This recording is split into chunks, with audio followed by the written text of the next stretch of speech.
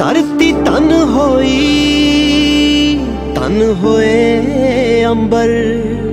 ਸਭੇ ਦੁੱਖ ਮੁਕੇ, ਸੱਚੇ ਪਾਤਸ਼ਾਹ ਜੀ। ਹੱਥ ਬੰਨਦੇ ਆ, ਮੱਥਾ ਟੇਕਦੇ ਆ। ਤੁਸੀਂ ਆਣ ਟੁਕੇ, ਸੱਚੇ ਪਾਤਸ਼ਾਹ ਜੀ। ਹੇਠਾਂ ਚਾਨਣ ਦਾ ਦਰਿਆ ਵਗੇ। ਉੱਤੋਂ ਮਿਹਰ ਦਾ ਬਰਸੇ ਮੇਗ ਬਾਬਾ।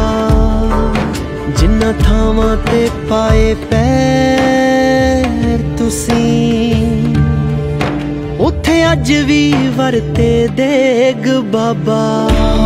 ਨਾਨਕ, ਪਾਰ ਨਾਨਕ।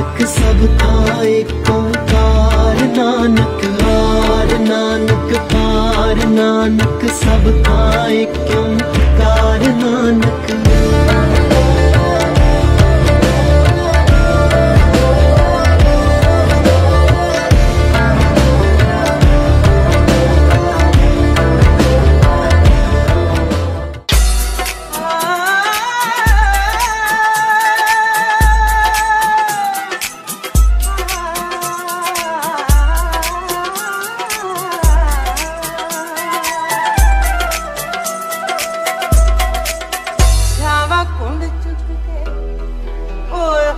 ਹੋਏ ਚੁੱਕ ਕੇ ਜਾ ਕੇ ਕਲੀ ਮੈਂ ਪਾਈ ਰਾਤ ਨੂੰ।